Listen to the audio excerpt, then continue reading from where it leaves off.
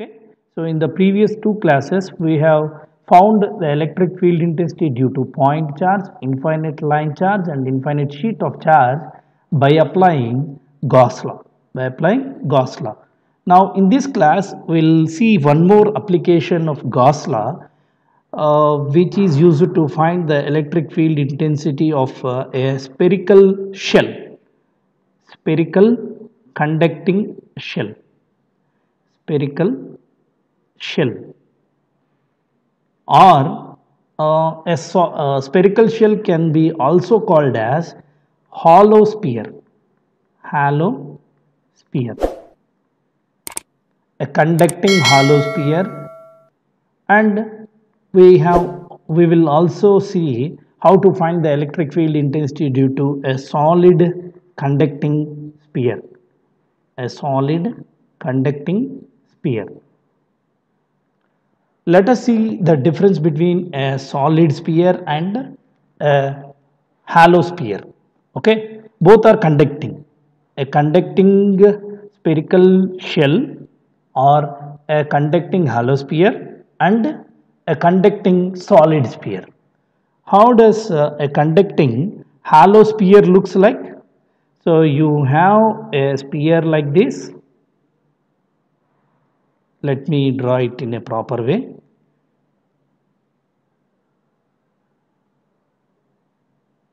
This is a hollow sphere. So here there is no filled material.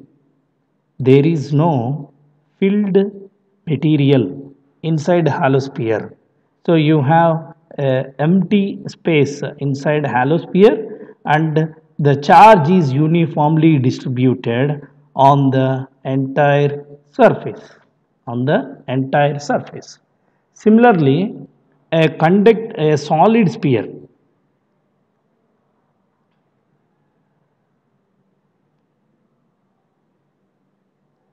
So a, a solid sphere has uh, some filled material like this. Let me erase it.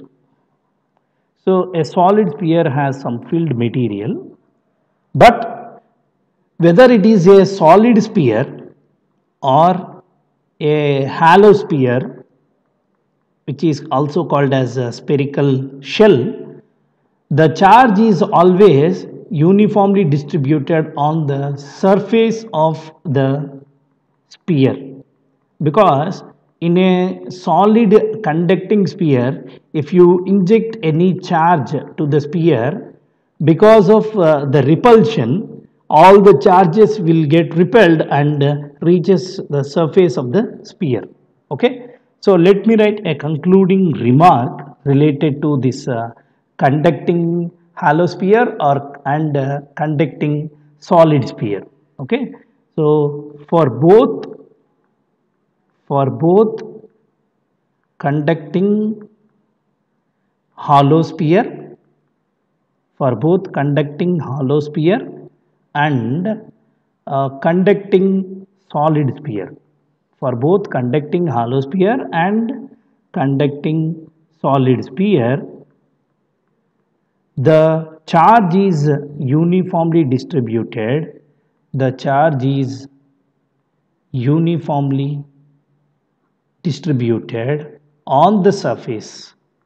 The charge is uniformly distributed on the surface in solid sphere if you inject any charge as it is a conducting sphere if you have any free charges that free charges always repel each other and reach uh, the surface of the sphere. And in hollow sphere as there is no filled material already you have only chance to have the charge distribution on its surface from these two conclusions what we can finally decide is for both conducting hollow sphere and conducting solid sphere the charge is distributed uniformly on the surface. There is no charge inside the surface. Okay?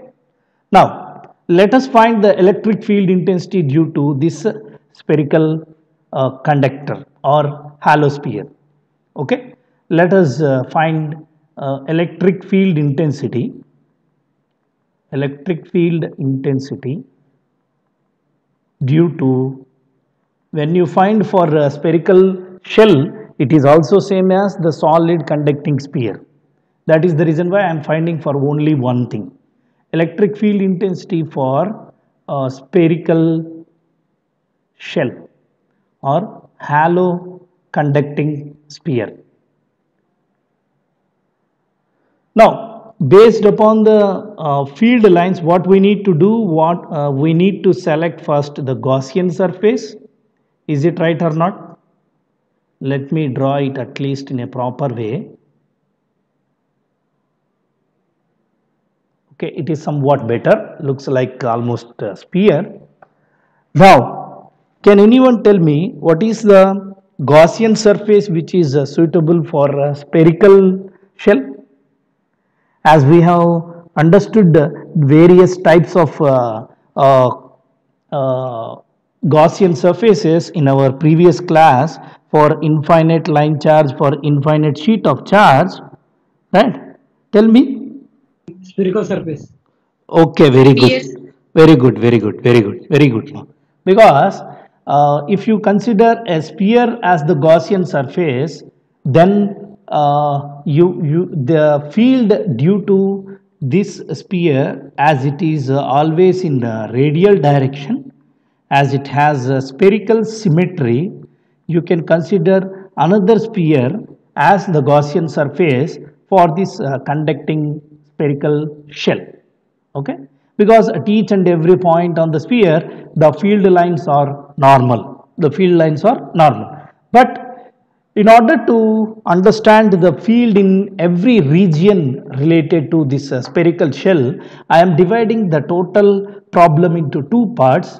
One is the electric field intensity the electric field intensity inside the spherical shell.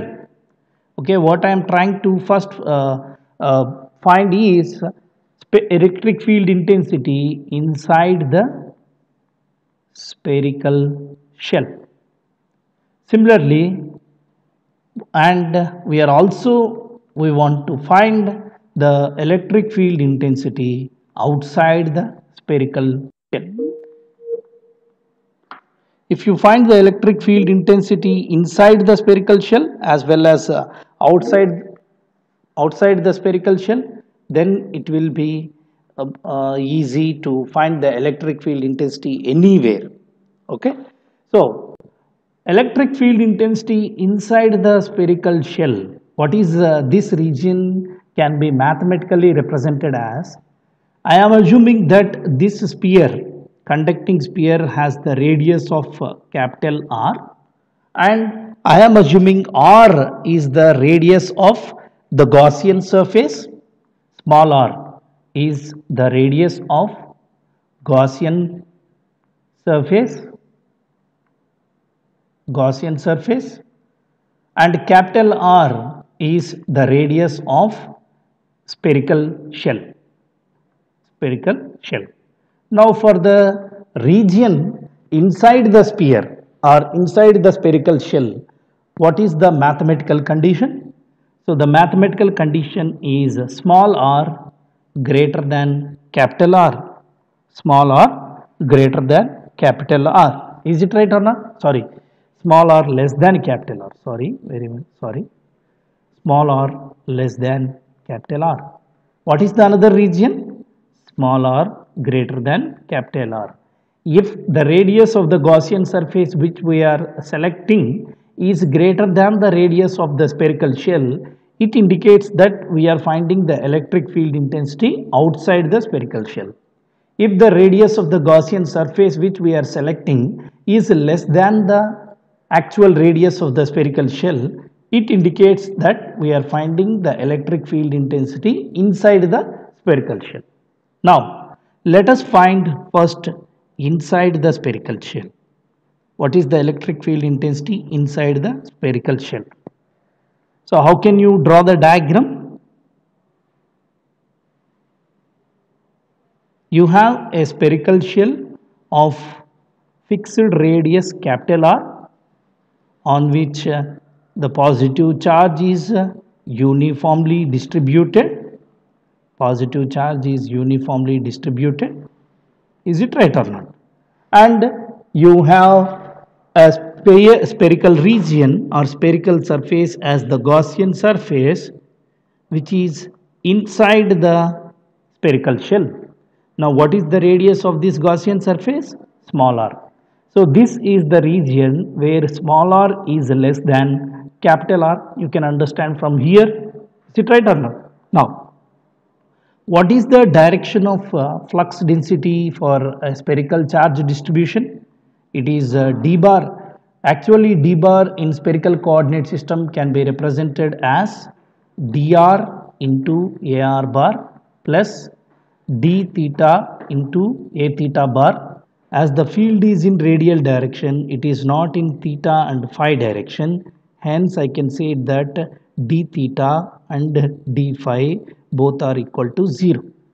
So you have the flux density only in radial direction by which I can take d bar as dr into ar bar, dr into ar bar. And for this Gaussian surface, you need to apply Gauss law.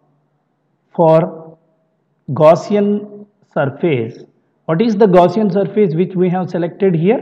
It is a spherical surface of radius small r and uh, this radius is less than capital R. So, it is a spherical surface, it is a spherical surface of radius small r where small r is less than capital R. Right? Now, for this Gaussian surface, we need to apply Gauss law. See here, at each and every point on this Gaussian surface, the field is in radial direction as well as the surface vector is also in radial direction. When you consider a small piece here, when you consider a small piece here and when you consider a small piece here, in all these surfaces, the field is in radial direction as well as the surface vector is also in radial direction. Hence, I can say that uh, ds bar in radial direction. We need to select ds bar in radial direction. Can anyone tell me what is uh, ds bar in radial direction? R square sin theta d theta d phi d. Okay, r square sine theta. d theta d phi a bar. Okay, very good. Why we got r square sine theta d theta d phi? The variation of uh, r, uh, uh, the variation of theta is represented with r d theta and the variation in phi is represented with r sine theta d phi. When you multiply these two variations, you will get r square sine theta d theta d phi a r bar. This is ds bar in radial direction. Is it right or not? Now you got dr d bar in radial direction. What is Gauss law? Gauss law states that the total flux leaving a closed surface, this integration gives us the total flux leaving a closed surface. It is equal to charge enclosed by that surface. Is it right or not? Now, what is the surface integral? What is the d bar? It is dr into ar bar dot. What is ds bar? ds bar is r square sine theta d theta d phi and it is equal to into ar bar sorry and it is equal to q enclosed. Now, for this integration, if you see this integration, here you have AR bar and AR bar. AR bar dot AR bar is 1. For this integration, dr r square is constant. So, I can take it out of the integration. So, dr into r square with double integration of sine d sine theta d theta d phi is equal to q enclosed. If you observe the Gaussian surface of a radius r, as the charge is exactly on the surface of the sphere, so the q enclosed is equal to 0. As q enclosed is equal to 0, you have the electric flux density dr also equal to 0 if dr is equal to 0 d bar is equal to 0 it implies that electric field intensity is also zero inside the spherical shell. Inside the spherical shell. So this is the electric field intensity inside the spherical shell. Now consider the region outside the spherical shell. This is the second region. Outside the spherical shell the radius of the Gaussian surface is uh, greater than actual radius of uh, the shell. So it is r greater than uh, greater than capital R. So when you consider the sphere hollow sphere here on this uh, hollow sphere the charge is uniformly distributed like this. And this is the center of this uh, spherical shell consider capital R is the radius of this uh, hollow sphere. Now what I am trying to do is I am considering a Gaussian surface outside this uh, spherical uh, shell and the radius of this Gaussian surface is small r. Now applying Gauss law again. Here in this region if you clearly observe the radius of the Gaussian surface which is uh, small r is greater than capital R is greater than capital R. Now find the electric field intensity at uh, everywhere. If you observe uh, the electric field intensity at everywhere on the Gaussian surface which is outside the spherical shell, you can clearly see that. So these are the different surface elements which we can consider outside this uh, spherical shell so the each and every surface element has the direction like this which are uh, radially outwards. Like this you have the ds bar direction. Is it right or not? And what is the direction of electric field intensity? Electric field intensity direction is also same as the direction of uh, ds bar. Electric field intensity direction is same as the direction of d bar. Now apply gauss law for the applying Gauss law for outer surface for outer spherical surface which is again a Gaussian surface. Outer spherical surface which is again a Gaussian surface. Now uh, what is Gauss law? It states that the total flux leaving a closed surface is equal to charge enclosed by that surface. And what is the charge enclosed? Q enclosed. Q enclosed. Now if i assume the total charge which is distributed on the uh, spherical shell as q let q is the total charge q is the total charge on the spherical shell Q is the total charge on the spherical shell. Now, what is the enclosed charge by this uh, outer sphere? The enclosed charge by this outer sphere is Q. What is surface integral of d dot ds? It is uh, dr ar bar dot. Tell me what is uh, ds bar? Differential surface uh, vector. It is uh, r square sine theta d theta d phi ar bar. And it is the surface integral and it is equal to what is the charge enclosed? It is equal to q. Now for this integration what are constants? Dr and r square. Ar bar dot ar bar is 1 so this entire vector product or the dot product sorry this entire dot product is converted into scalar product when both the unit vectors are in the same direction so I can take dr out of the integration and r square also out of the integration as this is the integration in terms of theta and phi.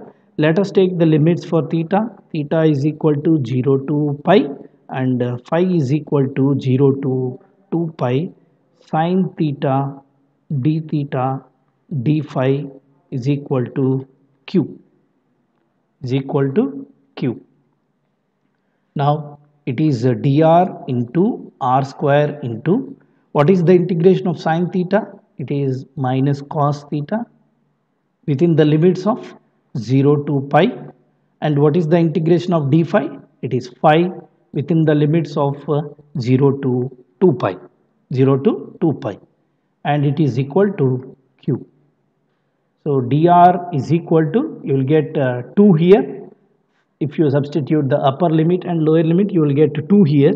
And here you will get 2 pi. So 2 pi into 2 4 pi 4 pi into r square. 4 pi r square. So dr into 4 pi r square is equal to q. Now dr is equal to q by 4 pi r square. Okay? If I want to represent this in the form of a vector I can write this as a d bar is equal to q by 4 pi r square into ar bar. This is the d bar outside the spherical shell. And how can you find the electric field intensity? Let me write here. As we know electric field intensity given by E bar is equal to D bar by epsilon naught. You will get it as equal to Q by 4 pi epsilon naught R square into AR bar. What is the unit for D bar? It is Coulomb per meter square and what is the unit of electric field intensity? It is volt per meter. Electric field intensity unit is volt per meter. This is the electric field intensity outside the spherical shell. This is the electric field intensity outside the spherical shell and this is the electric field intensity inside the spherical shell. Now exactly on the spherical shell, what is the electric field intensity? If you want to know the electric field intensity exactly on the spherical shell, you need to substitute small r is equal to capital R because small r is equal to capital R on the spherical shell exactly on the surface of the spherical shell. Now how can you get electric field intensity? It as a q over what is this value? 4 pi epsilon naught instead of replacing instead of writing small r you need to write capital R. So q by 4 pi epsilon naught capital R square into AR bar volt per meter.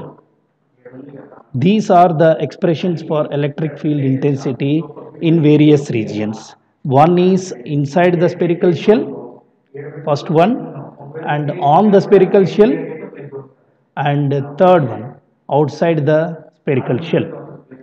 Now, now see if you clearly observe the expression for electric field intensity, it looks the same as the point charge. Is it right or not? It looks the same as the point charge. What is the meaning for this? Why we got the same expression here same as the point charge here? Because if you observe this as a spherical shell when you are moving away from the spherical shell the radius will increase so when you are moving away from the spherical shell this spherical shell looks like a point charge. This spherical shell looks like a point charge. At the center looks like a point charge. At the center when you are moving away from the spherical shell. That is the reason why we got the same expression for electric field intensity as your point charge. That's why we got the same expression. When we are moving away from this uh, spherical charge, radially, you can understand that this spherical charge looks like a point charge concentrated. If, if, the, if the same amount of charge which is distributed on the entire surface, if it is concentrated exactly at the center, then what we can understand? We can understand that it as a point charge. For a point charge, you got the same expression for electric field intensity. That's why we got this expression. Now, let us plot the variation of uh, electric field intensity with radius plot uh, plot of this is a plot of electric field intensity versus radius or the distance from the center whatever it may be if I assume exactly if I draw the imaginary sphere here with uh, like this this is the sphere, spherical shell and this is the center of the spherical shell. Now from here to here the radius is uh, varying or is changing. What is exactly at this point? What is small r value exactly at this point? Anyone? Please tell me. Exactly on the surface of the sphere, what is small r value? Capital R because small r is a variable uh, radius, capital R is a fixed radius of a spherical shell, right? Exactly at this uh, you have the electric field intensity maximum. So what is this region? It is the region where small r is less than capital R. Two minutes now. And it is a region where small r is greater than capital R. In this region, the electric field intensity is zero as we have got just now. Now exactly at uh, small r is equal to capital R, the field intensity suddenly increases from 0 to this value what is this value ma? It is q by 4 pi epsilon naught capital R square. I am just plotting the variation of electric field intensity with the radius smaller. This is the region inside the hollow sphere and this is the region outside the hollow sphere. Inside the hollow sphere the electric field intensity is 0 and exactly on the surface of the sphere the electric field intensity increases from 0 to this value and after this, if you clearly see the expression outside the hollow sphere, after this, in the third equation, if you observe, the electric field intensity is inversely proportional to the distance from the center. What is small r? If you clearly see here, the small r is the distance or the radial distance from the center. When the radial distance is getting increased, automatically the electric field intensity will get reduced. So you will have the variation like this okay? Somewhere when your r becomes infinite your e becomes 0 that's why i am not showing here. This is the variation of electric field intensity of a hollow sphere or a solid conducting sphere in various regions. I hope it is clear for you everyone